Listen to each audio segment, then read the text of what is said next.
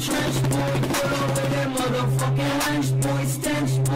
When I fucking pull up with that stench.